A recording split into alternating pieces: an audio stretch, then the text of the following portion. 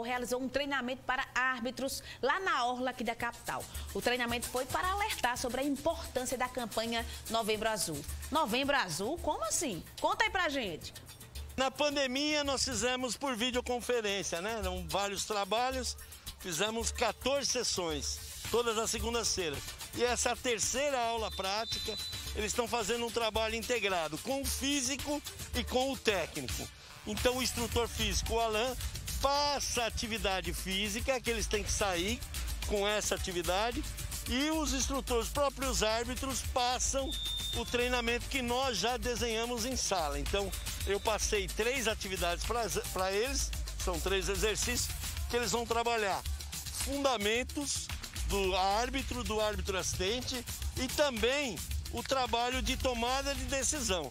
Eles vão estar tá cansados, que a areia prende, e eles vão ter que tomar decisão. Se é um tiro, tiro de meta, se é um tiro de canto, se é um impedimento ajustado. Essa, esse é o nosso trabalho aqui. Assim como a federação abraçou o Outubro Rosa, a federação tem um dever de abraçar também o Novembro Azul. Muito importante, os árbitros aqui estão conscientizando a todos que estão passando aqui na Orla e também a todos os atletas, funcionários da federação e devidos esportistas. Então, estou muito feliz com mais uma ação realizada pela federação, em parceria também com a comissão de arbitragem. E é isso aí, Novembro Azul, prevenção a todos vocês. É final de mais um Povo na TV. A você que está em casa, seja forte e corajoso, porque foi o Senhor que te ordenou. Agora é hora de ficar com ela, a topada, a topástica.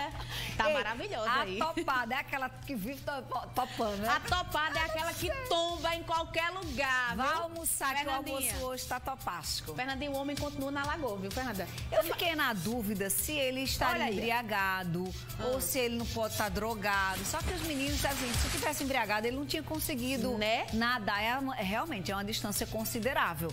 Mas, meu amigo, eu vou dizer uma coisa: ele sobreviver depois de mergulhar nessa lagoa e sair com saúde, meu querido, esse aí nem Covid pega mais. Pega mais não. Né? Beijo.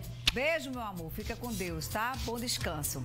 Agora a gente segue aqui na boa informação se tiver algum desdobramento relevante sobre esse cara aqui aí.